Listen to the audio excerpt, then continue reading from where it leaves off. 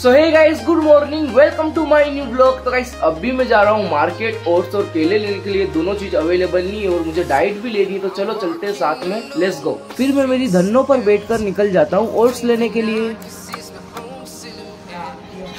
फिर गाड़ी को रेस देते से अपन आ जाते हैं सौरभ भाई की जिम और जिम में ये भाई की सप्लीमेंट की शॉप हाँ भाई सप्लीमेंट तो अपन ले नहीं सकते, इतना अपना बजट नहीं है। तो फटाफट से ओट्स लेके अपन निकल जाते हैं।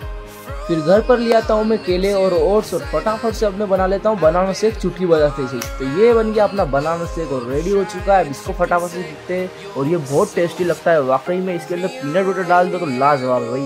उसके बिना टेस्ट भी नहीं आता है। तो फटाफट से इसको पीते हैं। सो गाइज़ मेरे सफ़ेद बाल बहुत ज़्यादा हो रहे हैं तो मैं बालों पे लगाने वाला हूँ हरी मेहंदी ताकि थोड़े सही लगे बाल।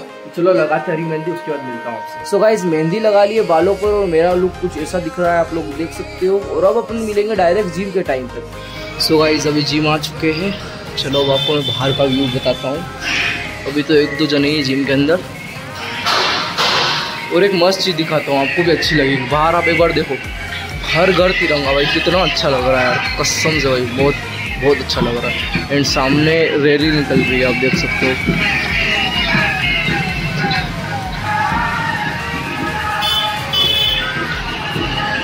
बहुत सही लग रहा है यार, वाकई में। और बादल भी काले हो रखे जो मौसम है ना भाई बाहर का, बहुत शानदार है। थोड़ी पास में आन देता हूँ रैली फिर बताऊँ आपको और अच्छे से।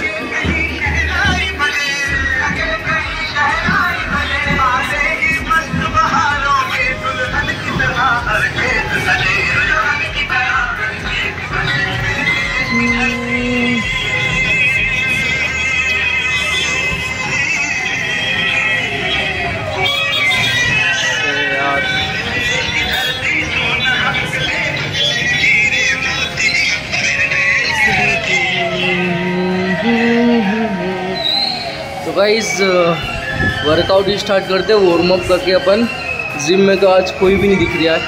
स्टार्ट करते हैं लेट्स सो गाइज़ अभी मेरा चेस्ट का वर्कआउट कंप्लीट हो चुका है और वीडियो मैंने इसलिए नहीं बनाई है क्योंकि लाइट नहीं है तो वीडियो में मज़ा नहीं आता। क्वालिटी बहुत देखता तो वर्कआउट चल रहा है मैं ट्राइसेप का करूँगा और लाइट आएगी तो ही वीडियो बनाऊँगा, वरना वीडियो नहीं बना पाऊँगा। ठीक है।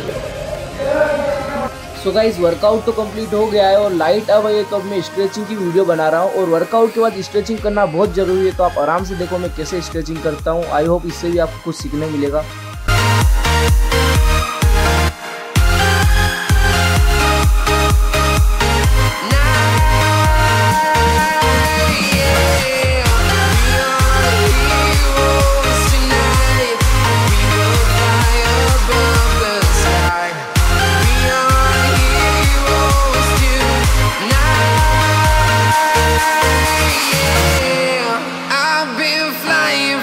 Town to town, from London to Taiwan. I've been all around the globe trying to protect your soul.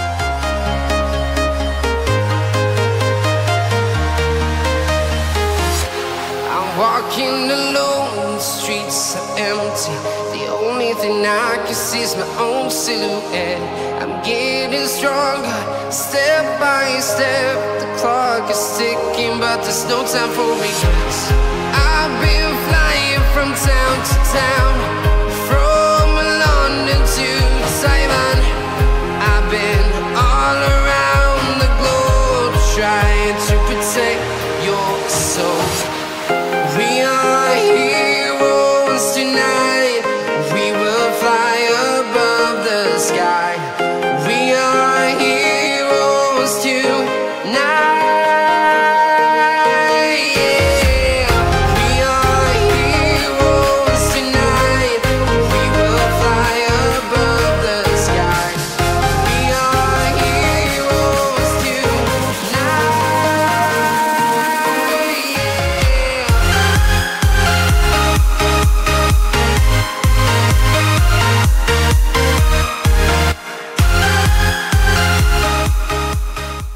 guys stretching complete हो गई और बॉडी हो चुकी है पूरी तरीके से रिलैक्स और अब चलते हैं घर पर और फटाफट से लेते हैं पोस्ट वर्कआउट मील तो ये है मेरी पोस्ट वर्कआउट मील मैं वाइट एग खाता हूँ।